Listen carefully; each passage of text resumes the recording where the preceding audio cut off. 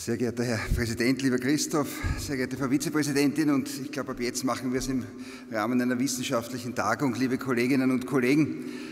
Ähm, was sich denn die Veranstalter mit dieser Tagung und mit den Themen gedacht haben, das haben Sie wahrscheinlich die Referentinnen und Referenten auch gefragt, äh, wie, äh, wie Sie Ihre Themen einmal angeschaut haben. Und wir sind alle gespannt, was daraus wird. Daher ist es jetzt ein bisschen gefährlich, wenn ich äh, sage, was haben wir uns denn dabei gedacht. Man kann dann äh, schauen, was daraus herauskommt. Ähm, unser Grundansatz war, dass dieses österreichische Modell der Verfassungsgerichtsbarkeit damals, wie es vor 100 Jahren, morgen vor 100 Jahren, äh, in die Welt gesetzt wurde, um es mit, Geburts-, mit der Geburtstagsmetapher zu sagen, das war schon ein mutiger und zukunftsweisender Schritt zur Sicherung des Verfassungsstaates. Aus heutiger Sicht kann man wohl mit Fug und Recht sagen, das war ein visionärer Schritt. Der musste sich bewähren, der musste kämpfen um seine Existenz. Er hat sich aber, wie wir heute wissen, er hat sich bewährt. Diese Institution Verfassungsgerichtsbarkeit ist heute gefestigt und jedenfalls nach allem was wir in unseren Verfassungssystemen denken und wissen, aus einem liberalen demokratischen Rechtsstaat unserer Prägung nicht mehr wegzudenken. Aber wie alles muss sich auch die Verfassungsgerichtsbarkeit immer aufs Neue bewähren. Das zeigen aktuelle Entwicklungen wie etwa in Polen oder Ungarn mehr als deutlich und auch die aktuelle Diskussion in den USA zeigt wohl, dass auch dort die Verfassungsgerichtsbarkeit vor einer gewissen Bewährungsprobe stehen wird.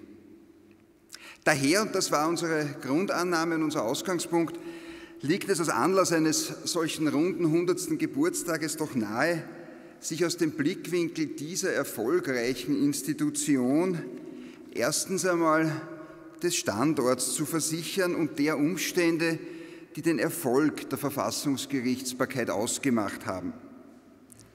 Und sich dann auf dieser Basis zu fragen, ob und wie diese Erfolgsfaktoren weiterhin wirksam sind, ob sie das sind und wie sie wirksam gehalten werden können, um auch in Zukunft diese Verfassungsgerichtsbarkeit funktionsfähig zu halten.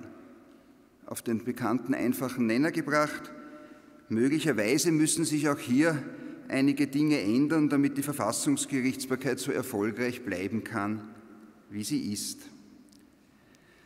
Das Ganze ist zum einen also damit ein ziemlich österreichischer Zugang, weil wir Österreicher doch immer mit beachtlicher Zuversicht in die Vergangenheit schauen.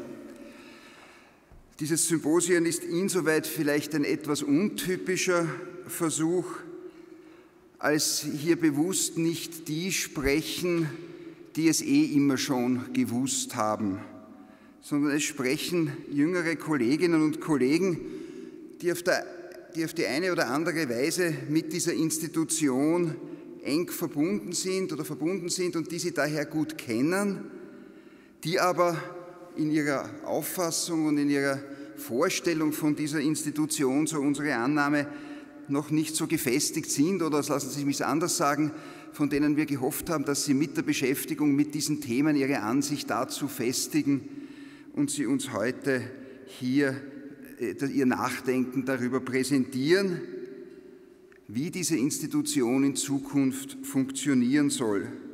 Weil, so irgendwie die Annahme, die, die da heute und morgen reden werden, da gibt es eine gewisse gute Chance, dass darunter auch einige Verfassungsrichterinnen und Verfassungsrichter der Zukunft sein werden. Und wir, die wir heute in dieser Institution tätig sind, wir hören zu und lernen. Vielen Dank.